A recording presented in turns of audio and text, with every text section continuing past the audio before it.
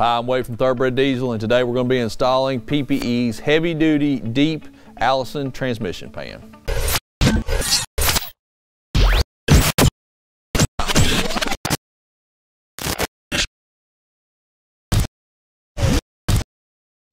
PPE's deep transmission pan for the Allison transmissions is a really, really nice product.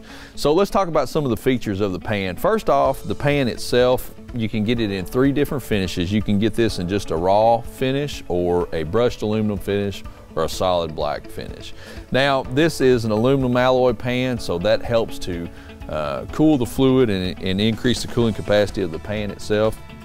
The pan comes with, obviously the pan, it comes with the extra deep Allison filter that you will be you will have to use when you change your filter again. You will have to use the extra deep filter on this. It also comes with a new hardware pack, Allen headed hardware uh, with washers, stainless steel stuff, all good hardware.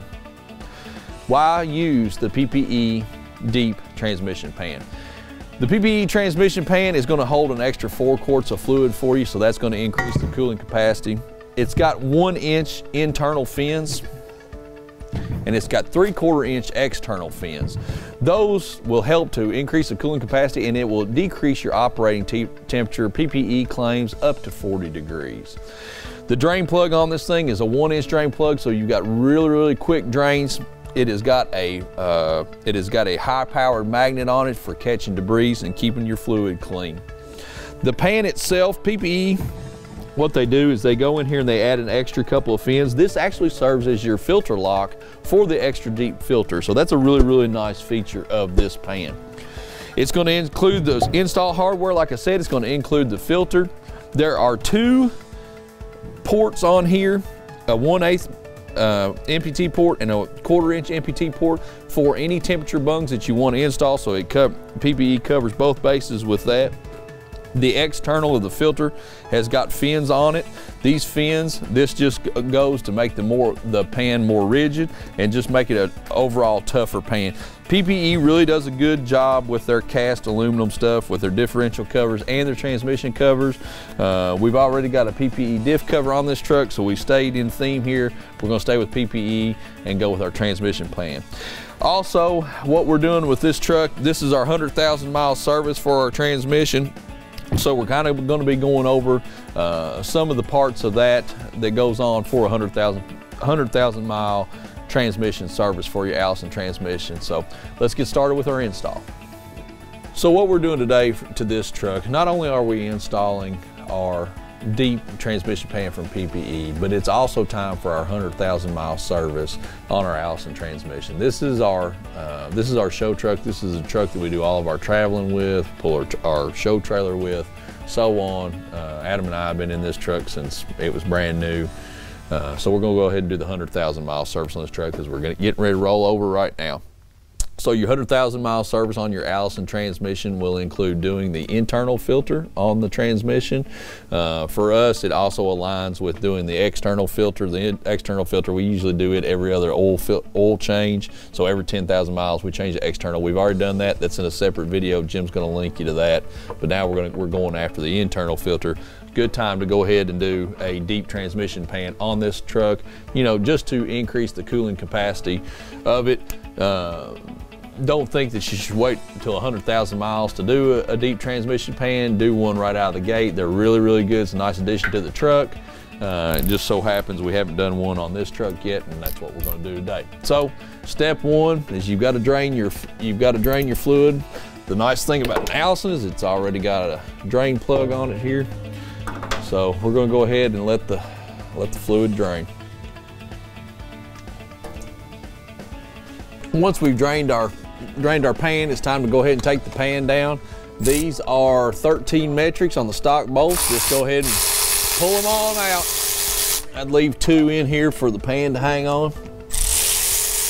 All right, when you go to take your trans pan down the Allison's, the Allison gasket is a reusable gasket, so it's not it's not you're not going to have to go crazy on trying to get your pan down should be able to shake it just like that and have it come loose Leave two bolts in it so it doesn't drop out and fall right in your lap and bend, especially if you're gonna be reusing the paint.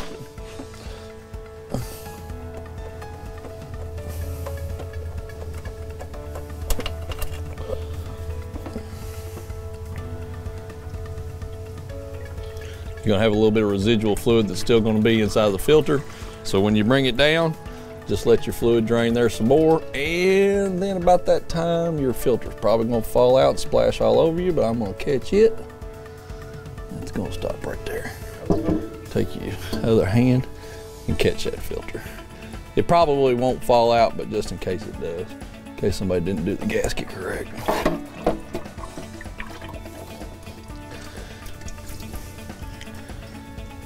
After you get your pan down and you get your filter out, you want to make sure in this bore that is towards the, fr the front of the valve body. Inside that bore, when you take the filter out, it's going to leave the seal, the O-ring. You've got to get that O-ring out. You've got to get this seal out. If you don't, here's what happens. If you double up and you put it and you put another filter in here, what's going to happen is the filter is going to sit lower then you put a pan on it and what it's gonna do is it's gonna crush that filter, uh, cause a restriction, all kinds of other stuff. So be aware of that. Make sure that you get the O-ring out of that bore, out of the filter bore before you put your new filter on. I wanted to put this shot in the video for you guys that are not going to be changing your pan if you have searched for this video and you're going to do this because you want to know how to change the fuel the pan, uh, change the filter on an Allison this is for you guys that are going to be reusing your pan back. The gasket on the Allisons is reusable okay? So you do not have to you do not need to replace the gasket. You can totally reuse this gasket. So take care pulling it off. Try not to do something crazy and mess it up because that is totally a reusable gasket this pan, the magnet on the Allison pan is right here. We'll make sure that you get it cleaned off really, really well. Use brake clean, to clean the pan out. Two, clean it out with brake clean really, really well, flush it out. You wanna make sure if you're gonna use this pan back that you clean the pan. We're not, so all we needed was this gasket and we're good to go.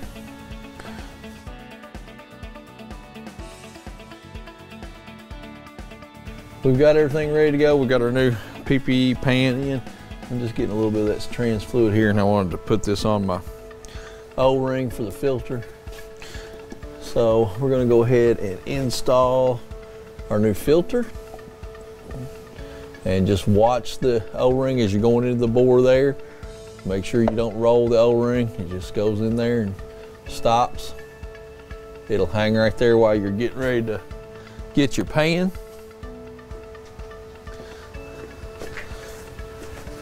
Now I've got my pan fasteners and everything ready to go. So I'm gonna go ahead and put my pan up here. I've got my gasket on. I use just a little touch of spray adhesive on my gasket so I don't have to fight it. Go right straight up there.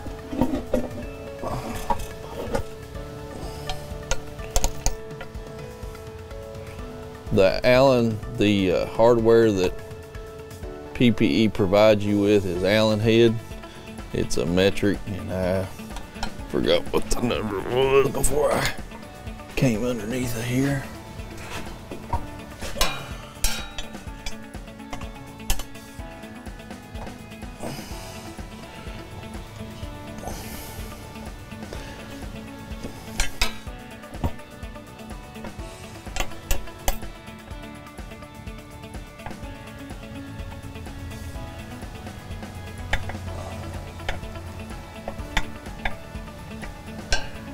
Take your time not to cross thread this too.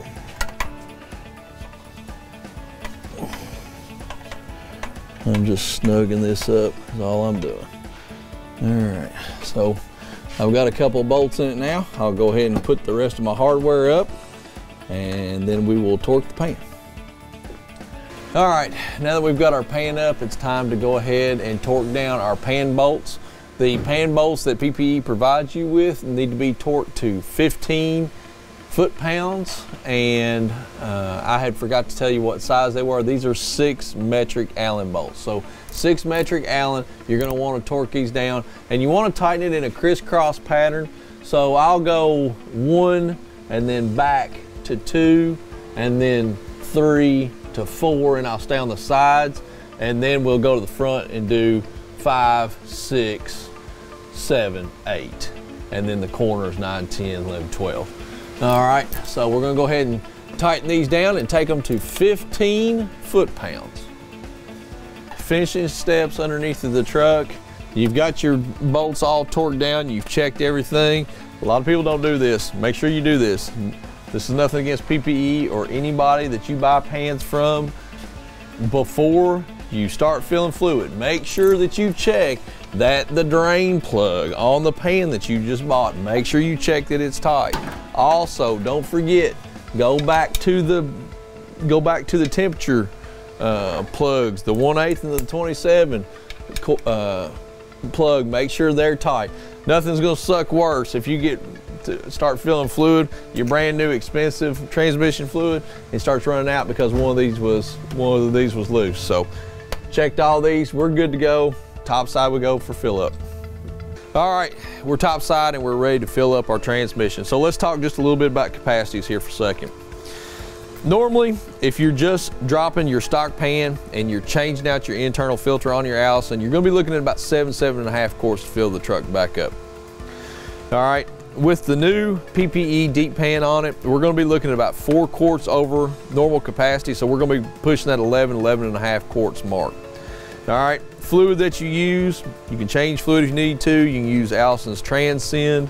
Um, you can use genuine Delco, uh, whatever, what's the current, Dextron 6, uh, which is what we're gonna use because I had a couple of cases of it handy here at the shop. Make sure you use the correct fluid first off and make sure that you're gonna wash your capacities. I'm gonna go ahead and start filling transmission. I'll show you how I do it. I'm not gonna go ahead and just drop 11 quarts in here. Don't you do it either. All right, because you think that's what it's supposed to have come out of it. I'm gonna put four quarts in here to start with. All right, I use this funnel. You can pick these up. These are really slick. You can get them at any O'Reilly's, AutoZone, or whatever. They fit on normal size quart neck or a big bottle that uh, goes right on. Makes the job a whole lot cleaner than filling with a funnel. So what I'm gonna do is I'm gonna drop four quarts in this truck and we'll check it. We'll keep adding fluid to this with the truck not running and checking it until I know that I've got fluid on the dipstick. Then what I'll do, I'll start the truck, I'll let a, little bit of fluid cycle, a few seconds, 15, 20 seconds, shut it off, I'll come back out. I'll keep checking it until I've got the correct fluid level in it. Then I'll drive it, let the truck get warmed up, and come back and check it again. That's the most important part. Don't just dump fluid in it, think that you've got it. You want to make sure that you are putting the right amount of fluid in it, letting the pump cycle on the transmission, letting it pick up the fluid, and then and then going from there. So that concludes our installation of our PPE Transpan. Why do you need a Transpan? If you guys are towing, this is a really, really good upgrade for any automatic transmission. It increases your uh, your fluid capacity. It's much easier to drain the fluid on uh, with these pans. Uh, the one inch drain plug for the, from the PPE lets the fluid drain out really, really quickly. It's got the bungs in it, the uh, tap ports for your temperature sensor bungs. So there's a lot of, there are a lot of advantages to running a Transpan. So if you have a question about this installation or any of our other uh, installations, if you have a question about PPE products, please give us a call, like and subscribe to our channel. And now we're going to start the uh, really, really fun task of filling the transmission. Thanks for watching.